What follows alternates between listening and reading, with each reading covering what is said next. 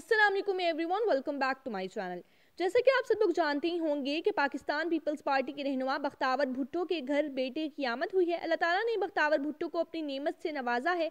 बख्तावर भुट्टो ने खुद अपने बेटे की पैदाइश की खबर अपने सोशल मीडिया हैंडल के थ्रू शेयर की है। अब बख्तावर भुट्टो के बेटे के मुतालिक एक अफसोसनाक खबर भी सामने आ रही है। बख्तावर भुट्टो की बेटी की पैदाइश की खबर सुनने के बाद कई लोग काफ़ी ज़्यादा हैरान भी हो गए कि उनकी शादी को भी चंद ही माह हुए हैं और इतनी जल्दी उनके घर से खुशखबरी कैसे सुनने को मिल गई। अब फाइनली बख्तावर भुट्टो ने इस बात को भी अपने ट्विटर अकाउंट पर क्लेरिफाई कर दिया है।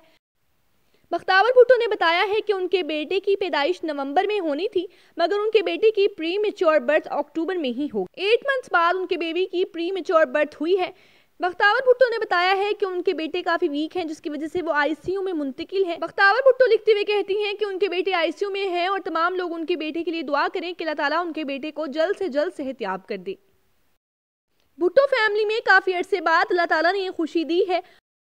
और बख्तावर भुट्टो के साथ साथ बिलावल भुट्टो जरदारी और आसिफा जरदारी ने भी ये खुशखबरी अपने अपने ट्विटर हैंडल्स पर शेयर की है।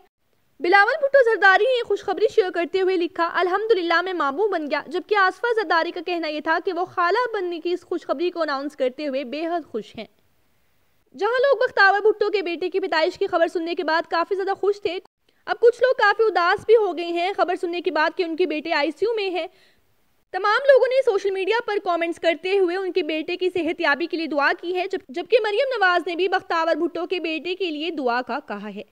बख्तावर भुट्टो के बेटे का नाम और तस्वीर देखने के लिए भी लोग काफ़ी एक्साइटेड हैं। बख्तावर भुट्टो ने अभी तक अपने बेटे का नाम भी रिवील नहीं किया है और ना ही मजीद कोई और डिटेल्स शेयर की हैं। अल्लाह ताला उनके बेटे को जल्द से जल्द सेहतियाब करे, हमारी भी बस यही दुआ है। आप भी उनके बेटे की सेहतियाबी के लिए ज़रूर दुआ कीजिएगा। मिलते हैं आपसे किसी नेक्स्ट न्यू वीडियो के साथ, तब तक के लिए अल्लाह हाफिज़।